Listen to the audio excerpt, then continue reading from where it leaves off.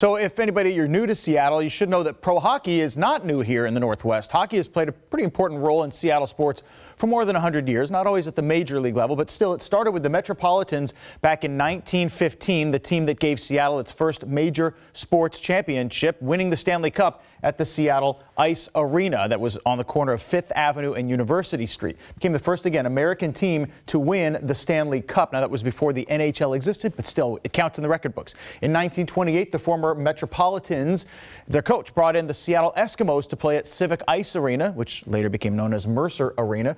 Then in 1933, the original Seahawks, different kind of Seattle Seahawks, but Seahawks nonetheless.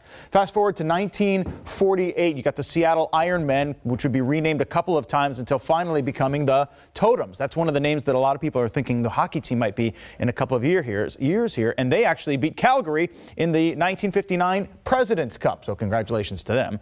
And the Totems, by the way, then moved into the Coliseum, now Key Arena in 1964, bringing in about 10,000 fans per game with no helmets necessary back in the 1950s. After that, the hockey team became the Breakers from 1977 through 1985, playing at Mercer Arena. 1990, Seattle took kind of a shot at the uh, big time at the NHL, but Bill Ackerley, the son of Barry Ackerley, backed out of the officers. So since 1985, we've had the Thunderbirds, who have sent, like we just talked about, a lot of guys to the NHL. They play in Kent.